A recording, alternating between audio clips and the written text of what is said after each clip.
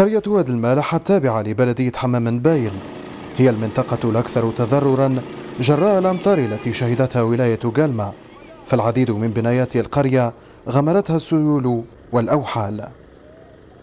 كاين ديار دقاسو مدرسة كيما نقولوا عندنا مدرسة دم عليها الواد. عندنا جامع.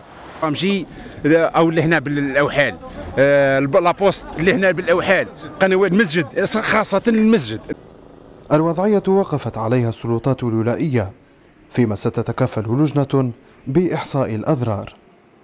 سنقوم بإنشاء لجنة لجنة تحقيق ومعاينة تقنية على مستوى هذه المناطق المتضررة لإحصاء كل الخسائر التي لحقت بهذه المناطق والمنازل. أنا نطمئن برك المواطنين إن شاء الله رانا نكونوا معاهم وبرفقتهم وخاصة المنازل اللي تقاست توسع أنا كلمت اليوم سيد مدير النشاط الاجتماعي في التدخل الأولي كاش ما يوفر بعض الأغطية والأفرشة لهذه العائلات.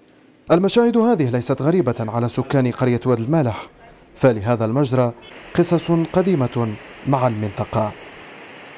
هذه المرة الثالثة اللي تصرى المشكل هذا نفس المشكل.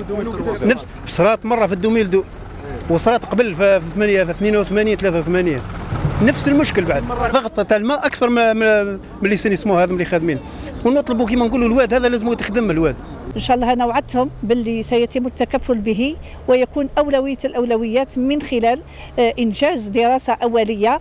ونشوفوا واش تعطينا الدراسة. إن شاء الله سيتم التكفل به. يبقى هذا الوادي خطرا يهدد سكان القرية في انتظار مشروع لتهيئته في أقرب الأجال.